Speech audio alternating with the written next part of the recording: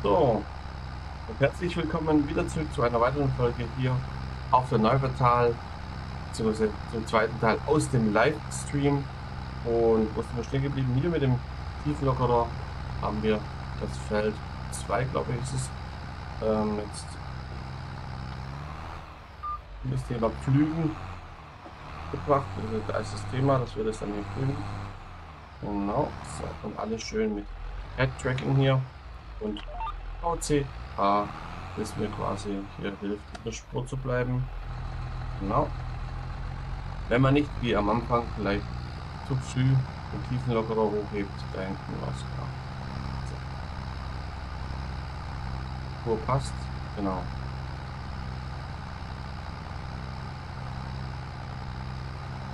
Weitere neue Mods, was ich hier habe, ist äh, quasi die Work-Kamera. Da fällt mir ein, die habe ich ja gar nicht aktiv. Ob ich da überhaupt äh, was einstellen muss. Ganz unten mit dabei jetzt. Turn off, Umschalt links und C. Und Steuerung C. Oh. Äh, das ist da könnte ich Steuerung C ich auch VCA, das passt nicht. Ähm, mache ich denn da bitte für eine Steuerung? Was kann ich bloß sagen? Für die Kamera Umschaltungszettel, okay. Nochmal hier, mal auf Gamepad beziehungsweise Tastatur, nehme das hier weg. Umschalt links, Steuerung C. Umschalt links, Alt C, so war das, genau. Aber ich möchte das gerne mal auf dem Gamepad anders machen. Jetzt mal gucken, ob, ob der das billigt. Und zwar ähm, da, da, da. Und zwar Abfahrer rufen und das. Nee, das will ich eigentlich nicht. Ab mit dem Abfahrer. Äh.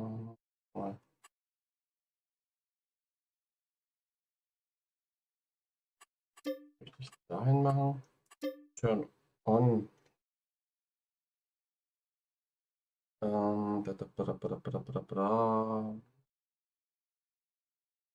Turn on lassen wir dann mal so. Schalt C war das, glaube ich, gell? Speichern. Schalt links C. Okay, mal gucken. Ja, das passt. Sehr gut. Was machen wir denn? Wollen wir jetzt hier die Steuerung machen? Okay, er hat keine andere. Oh, Okay. Ah, okay, deswegen wird es wahrscheinlich nicht gehen. Und zwar... So, hier, Steuerung umschalten. Das war so nochmal.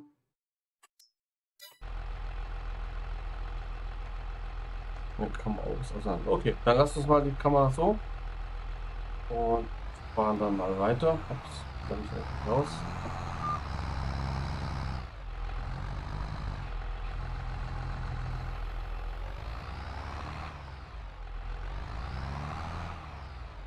Okay, mehr wir da auch nicht. Was da hinten, okay.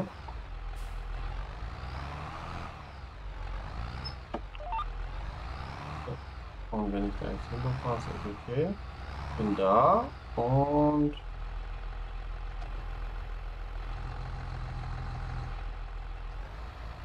ist zu spät.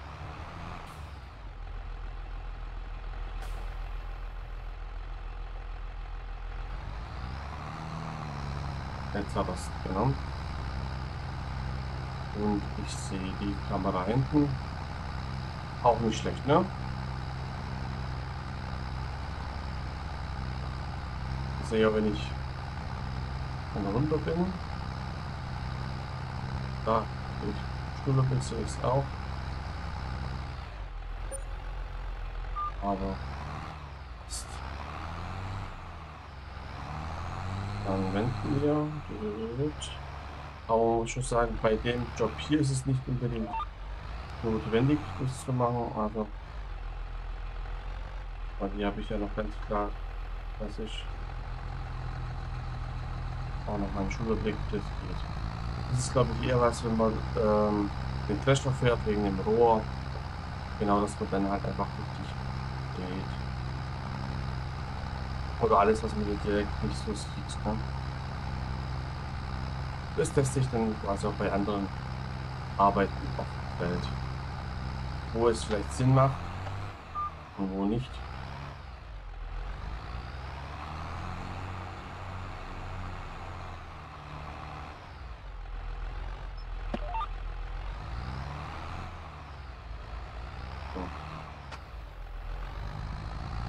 Und da wieder. Da sind noch ein paar Bahnen zu machen. aber die Uhr läuft. Und für den nächsten Tag quasi, da kann ich dann Steine aufsammeln.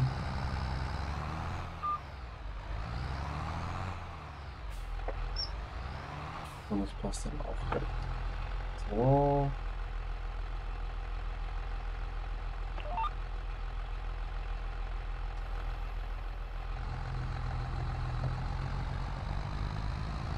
Funktioniert auch. Sehr gut. So. Ja, also ich bin gespannt auf die Antwort vom äh, ModHub, so wie ihr es vielleicht in der vorherigen Folge oder der ersten Folge hier aus dem Livestream gesehen habt. Ähm, diese Version ist eingereicht. Es kam eine Fehlermeldung, die aus der Log kommt. Ich selber habe diese Log-Fehlermeldung allerdings nicht. Deswegen ist es für mich schwierig, da die Ursache für den Fehler rauszubekommen. Und da bin ich auf die Antwort von Giants gespannt, äh, was die dann antworten, wie ich dann die Fehler mal kontrollieren kann, weil ähm, der Fehler, der dort erwähnt wird, der ist eigentlich behoben, keine Ahnung, Natürlich könnt ihr mir auch Erfahrungen mit Modhub-Rückmeldungen eurerseits mal äh, in die Kommentare einschreiben. Würde mich mal interessieren, was ihr so für Rückmeldungen bekommen habt, Support, was auch immer. Habt ihr damit immer gut umgehen können oder nicht? Jetzt mit dem, wie gesagt, ist schwierig, wenn ich eigentlich alle auf, auf Basecamp verweise, dass dann da noch Fehler kommen.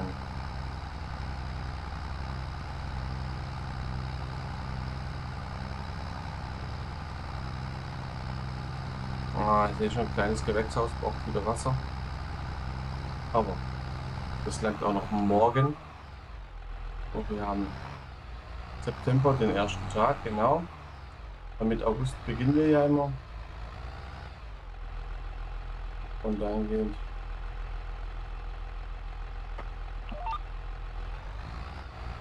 Passt das hier?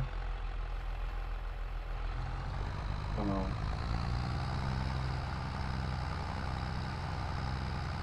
Man sieht auch noch ein bisschen Unkraut dazwischen. Ne? Das war halt hier natürlich auch schon mit dabei. Eine weitere Frage fällt mir gerade ein, was ich auch noch nicht gestellt habe. Da vielleicht auch in die Kommentare was reinschreiben von euch. Was haltet ihr davon, wenn am Anfang schon bei so einem einer Karte eventuell schon ja, Früchte im Silo drin sind? Ob ihr das gut findet, damit ihr am Start vielleicht schon was habt, also quasi für die Tiere oder generell was, damit ihr was von dem Silo verkaufen könnt, um äh, die ersten äh, Gelder einzufahren. Habe ich mir auch überlegt, dass ich gleich zu Anfang schon ein bisschen Bestand im Silo drin lasse. Genau.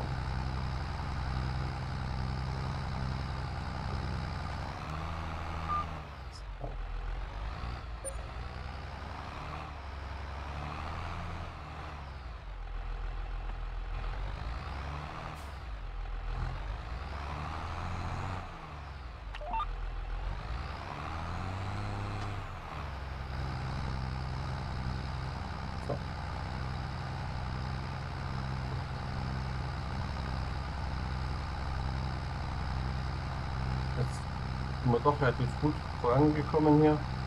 Im Tiefenlockerer passt. Und das ohne die Work-Kamera.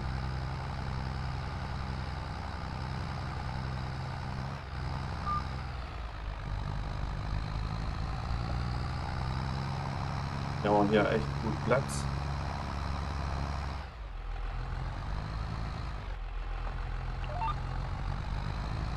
Oh, und dann wieder.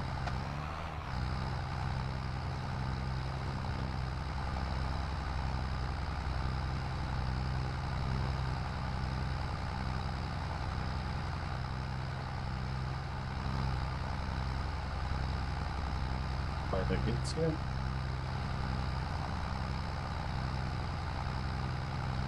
Und ja.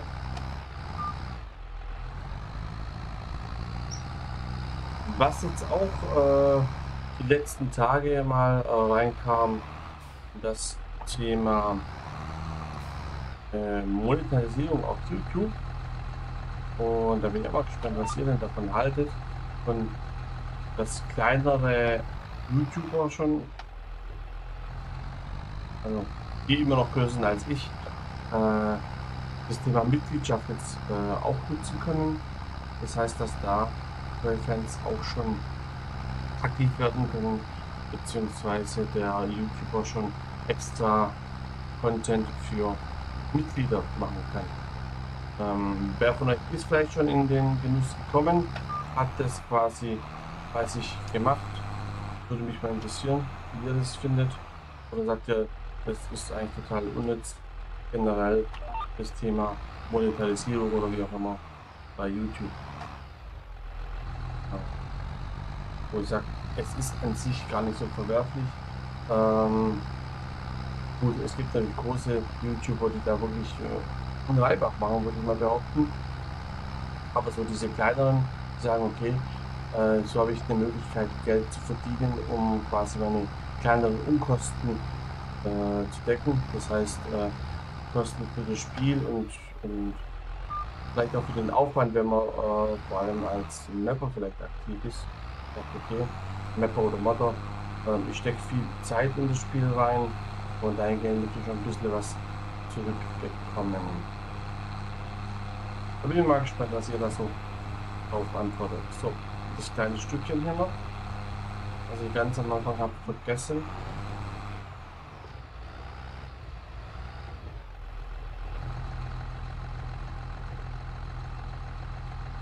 Und noch was. Ich kann zurück zum Hof.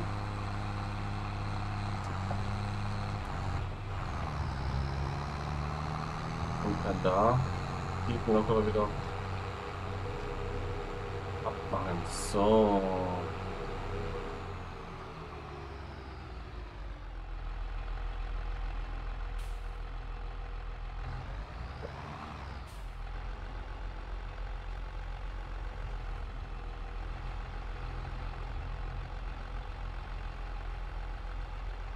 Oh, perfekt. Würde ich doch behaupten.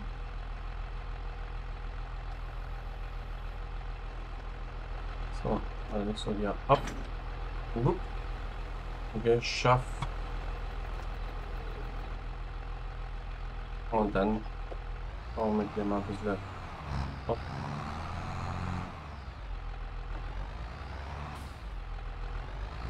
So, den stelle ich mal kurz hier ab.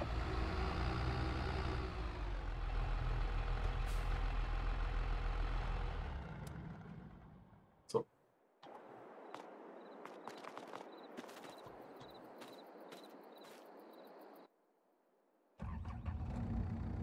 Den brauche ich natürlich.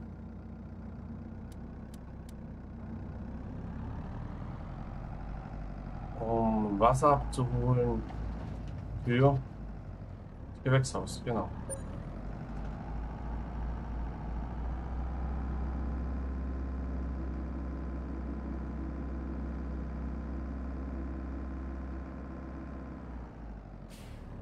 Führung starten.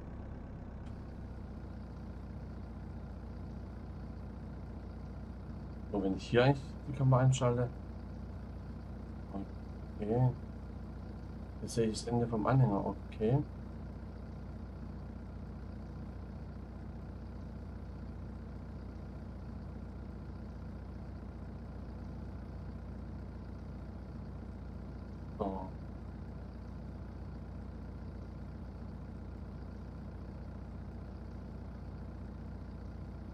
Er wird befüllt. Ja, ich stehe auf der Bremse. Und das war es auch schon für die zweite Folge. Wir sehen uns in der nächsten Folge oder im nächsten Auftritt aus diesem Livestream. Bis zum nächsten Mal. Euer Stefan. Ciao, ciao.